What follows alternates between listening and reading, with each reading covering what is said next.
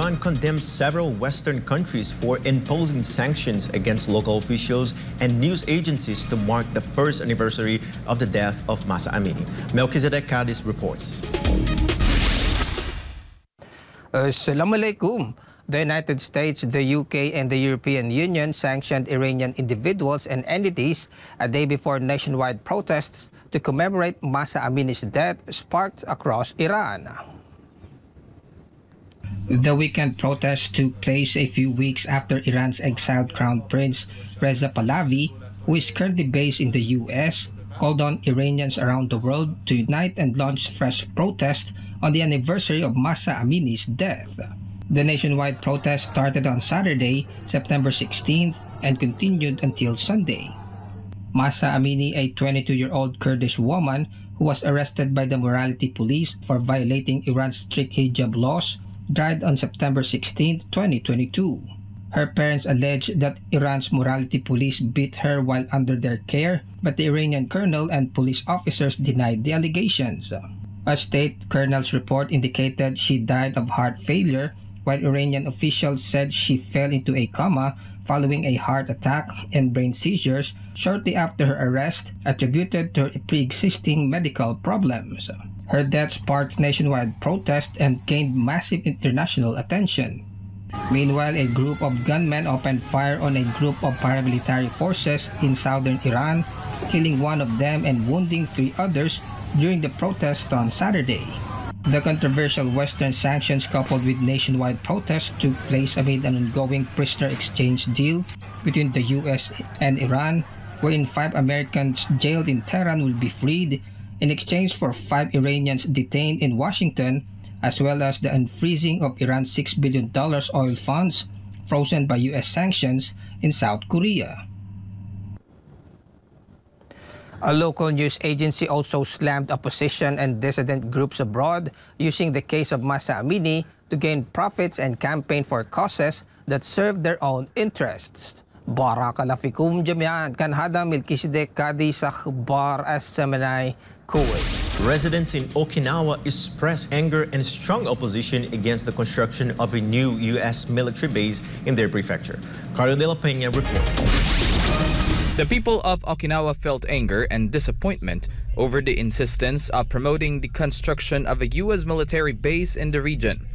Local continued to resist and object to the Japanese central government's plan to build the U.S. Henoko base, and they had expressed this by filing an appeal to the Supreme Court of Japan twice. But on September 4th, the Supreme Court again rejected the Okinawa prefectural government's appeal against the central government's plan to build the U.S. Henoko base.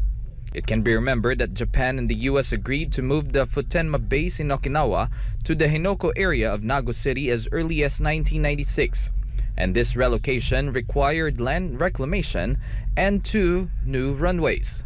Okinawa accounts for 0.6% of Japan's land area and more than 74% of the U.S. military facilities in Japan and more than 70% of their military personnel are concentrated in the said prefecture. 107 lawmakers from 24 municipalities united to set up a voluntary group and convened a press conference in Naha City to express their anger and disappointment to the decision of the government. 決についてはそもそもが沖縄県の県民っていうのは辺野古に対してあの県民投票だったり県知事選挙で、まあ、ノーだと辺野古に新基地は作らせてほしくないという思いを訴えてきた そのことをやっぱり最高裁は見ずに進めなさいと県に対して言ったということは、まあ、非常にあの残念だなというふうに私は思っております。Zukeran Chofu, a lawmaker from Nanjo, said that the people of Okinawa are angry at the construction of the Henoko base, and the people had clearly expressed their opposition in the prefecture voting and prefecture governor election. The lawmaker also said the Supreme Court ignored the will of the people of Okinawa and instead urged the prefecture to promote the U.S. Henoko base.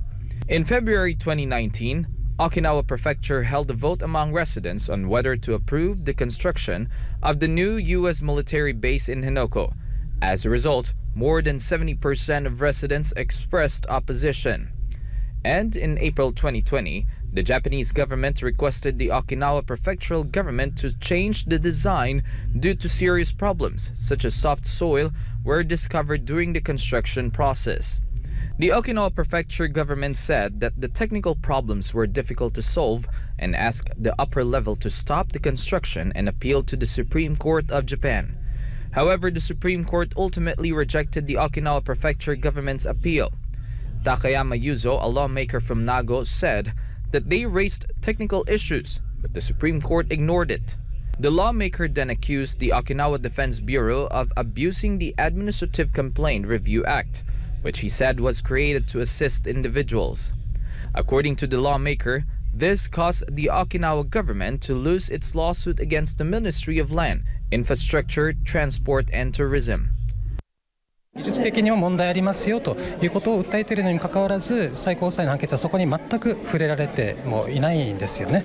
いない上にあの、まあ、行政不服審査法という、えー、本来は国民、まあ、詩人を救済するためのあの、まあ、仕組みこれを沖縄防衛局という、まあ、個人、えー、行政組織がですね、まあ、使って、まあ、乱用して国土交通省に沖縄県のですね、えーまあ、この不承認を、まあ、ひっくり返させるような。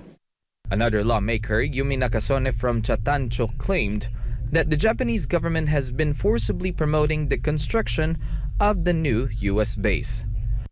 私たちが何度民意を示しても日本政府がこうやって強行して新基地を建設しているっていう歴史が今まさに刻まれていると私たちは思っていますでそのもう今まさにこうやって民主主義が破壊されてそして国が沖縄に強行してきているそういった歴史を作っている中でそれでも沖縄県民は諦めなかったという歴史を私たちは作りたいと思っています Reporting This has been Carlo de la Peña SMNI News 2023 has yet to end, but the United States has already reached a grim milestone on the number of mass shootings that happened this year.